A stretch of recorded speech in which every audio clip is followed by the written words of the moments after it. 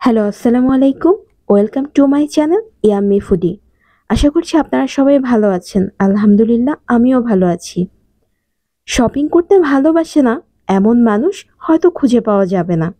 তাই আজকে আমি আপনাদের সাথে কোনো কুকিং কিংবা বেকিংয়ের ভিডিও শেয়ার করব না। আজকে আমি শেয়ার করব আমার শপিংয়ের ভিডিও আশা করছি আপনাদের সবার খুব ভালো লাগবে। আর ভালো লেগে থাকলে প্লিজ আমার চ্যানেলটা সাবস্ক্রাইব করে আমার পাশে থাকবেন। আমি কোথা থেকে এসব কিনেছি তা আমি ভিডিও শেষে বলে দেব। তো কথা না বাড়িয়ে চলুন শুরু করা যাক। আমি এই প্লেটগুলো একশো টাকা করে কিনেছি পার পিস আমি মোট তিনটি প্লেট কিনেছি। এই সার্ভিং ডিশটি নিয়েছি দুশো টাকা। এই কাবাব ট্রেটির দাম রেখেছি দুশো টাকা। এই সার্ভিং ডিশটির দাম নিয়েছে আমার কাছ থেকে দুশো টাকা।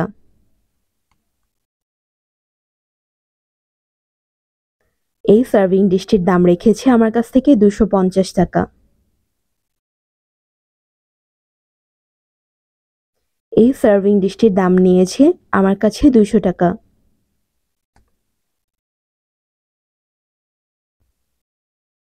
এই সার্ভিং ডিশটির দাম নিয়েছে দুশো পঞ্চাশ টাকা।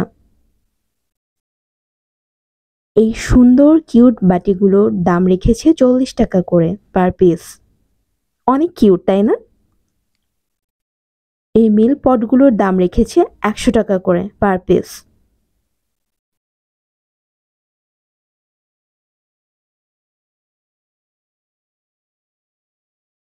এই স্যুপ কাপটি নিয়েছে একশো টাকা করে।